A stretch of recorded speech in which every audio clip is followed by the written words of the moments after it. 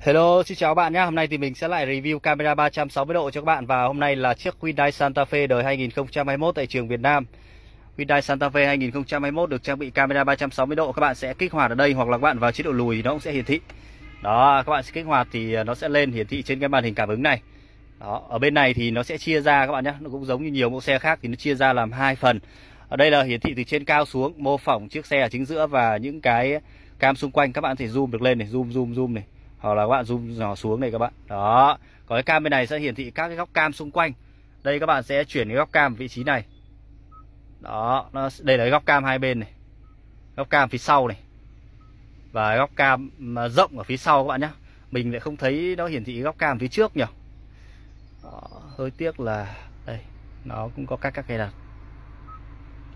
tăng giảm độ sáng này các bạn này. Đó tăng giảm độ sáng của cái cái cái cam này lên các bạn nhé đó hơi tối thì các bạn sẽ điều chỉnh độ sáng ở đây.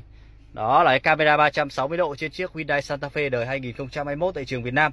Ngoài ra thì à, trên này nó có một tính năng khá là hay là khi các bạn sinh nhan trái thì nó sẽ hiển thị cái cam ở bên trái. Khi các bạn à, sinh nhan phải thì nó sẽ hiển thị cái cam bên phải.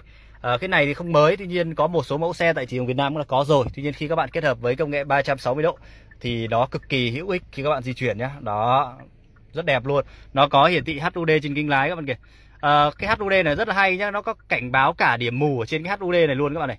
Nó cảnh báo trên này ngoài trên gương và âm thanh ra thì nó cảnh báo cả trên HUD ngoài ra khi các bạn chạy quá tốc độ ấy, thì ờ, cái số kia nó sẽ chuyển sang màu cam hoặc là màu đỏ để cảnh báo cho các bạn rằng các bạn đã chạy quá tốc độ. Đó là cái tính năng rất là hay trên Hyundai Santa Fe.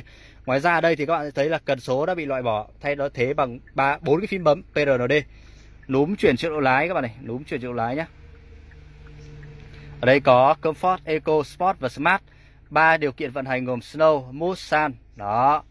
Ở vị trí này thì có sạc điện thoại không dây, cổng sạc USB. Nó rất nhiều những cái tính năng khá là hay.